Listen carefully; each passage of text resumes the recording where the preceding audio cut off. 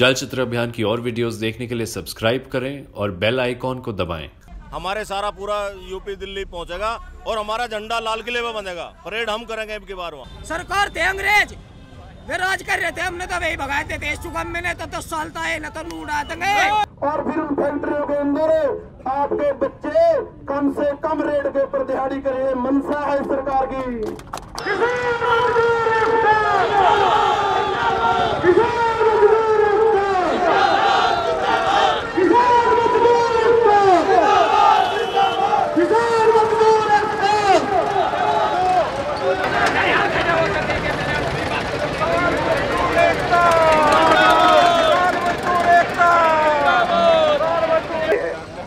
कम से कम वे पत्रकार बंधु जो इतने अनुशासन से ये धरना चल रहा है और आज आप हज़ारों हज़ारों की संख्या में यहाँ पर आए हूँ कि आप भी ताली बजाकर इस धरने के संचालकों का स्वागत करें।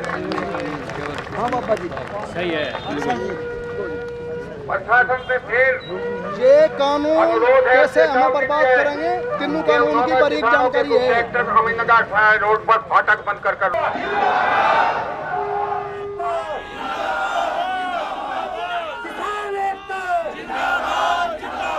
अपने हक अपने हक और ये जो जनता है यह कै करोड़ है इनका बहुमत क्यों नहीं मान दे या तो ऐसी मान लो जैसा एजीएम की मीटिंग हो जिस जा यू नहीं काम ठीक कर रहा, इस जो ये कानून बनाए, हम इन्हें अपने उससे ही खारिज करें, बहुमत से करें। और इसमें क्या फ़र्क आ रहा भाई? वे कानून बना लो, हमने तो ऐसा खारिज कर दिया। लेकिन मैं कह रहा जब हमारी लड़ाई नहीं लड़ सकते किसान है वे, हमने वोट दी। और जब हमारी लड़ाई नहीं लड़ते तो उन्हें प्रतिनिधि बने का कोई हक नहीं है। मैं ये कहना चाहता हूँ, उनका कर्नल साहब को बहिष्कार करना है। तो उन लोगों का करो जो सत्ता में बैठे हुए हैं। उन्हें एहसास तो हो कि ये पूरा क्षेत्र जाग चुका है अंदर घुसने तो धन्यवाद।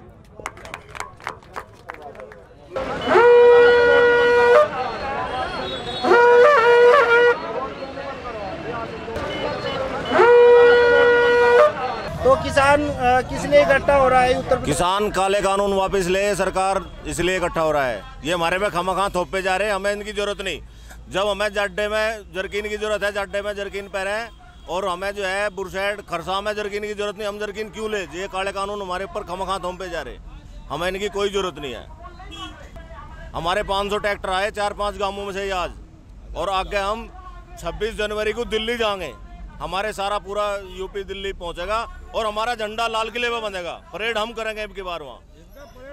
पूरे देश से हरियाणा से पंजाब से राजस्थान से किसान आ रहे हैं। किस तरह का भाईचारा बढ़ रहा है इस किसान आंदोलन को लेकर? क्या सीख दे रहा है आंदोलन? भाईचारा तो जी जो खत्म कर करा था सरकार ने पूरा पूरा फिट हो लिया। ये भाईचारे में कोई कमी नहीं। और इससे ज़्यादा और बढ़ेगा। जितना ये हमें तानाशाही दिखाओगे उतना ये भाईचारा बढ़ता जाएगा। भाई सब ताली बजा के स्वागत करेगा मनदीप सिंह जी का। ताली बजा के जोरदार तालियों के साथ। कोई बात नहीं रमनदीप सिंह जी। अब मामला राजनीतिक नहीं रहा कोई भारतीय जनता पार्टी का नहीं रहा कांग्रेस का नहीं रहा। अब मामला है पेट का। पेट का मामला है आगे अस्तित्व का मामला है जो आगे आने वाली औलाद है उसका मामला है। अगर एक है एमएसपी का न्यूनतम समर्थन, जो है मूल्य, एक तो वो है खतरे में। अगर ये कानून आए कोऑपरेटिव सोसाइटी जाएगी, जैसे हमारी जाएगी मंडी, अगर हमारी गई मंडी तो हमारी जाएगी एमएसपी आपकी कोऑपरेटिव सोसाइटी गई तो आपका तीन सौ पच्चीस रुपया भी गया, फिर मिलेंगे दो सौ पचासी। आगे की बात तो छोड़ दो। ये सरकार लोकतंत्र की होती तो ये लोग मान जाते। इनको ज़रूरत नहीं है आपकी वोट की। ये सरकार है कॉरपोरेट की। ये कॉरपोरेट के नौकर हैं, जो ये कानून बने हैं। ये किसी सरकार ने, किसी लीडरों ने नहीं बनाए। ये अंडानी अंबानी के दफ्तर में बने। ये क्या चाहते हैं? ये जो आपकी ज़मीन है, वो कौड़ियों के भोग हम कॉरपोरेट को दे दें और फिर उन फैक्ट्रियों के अंदर आपके बच्चे के ऊपर दिहाड़ी करें मनसा है सरकार की।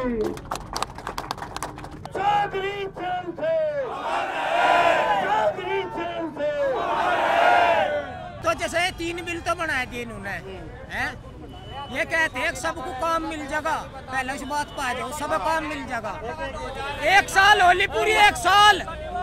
उम्र लिकट तू एक साल होली पूरी भर्ती नहीं आई कोई देखी नहीं भर्ती बिलो।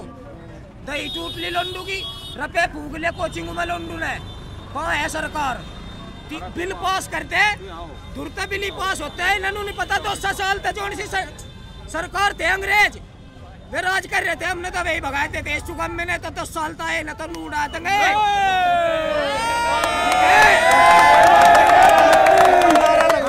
पूरे हक की लड़ाई लड़ रहे और लड़ना है लड़का जाएँगे किसान आदमी लाठी चादर अपनी लेकर चलेगा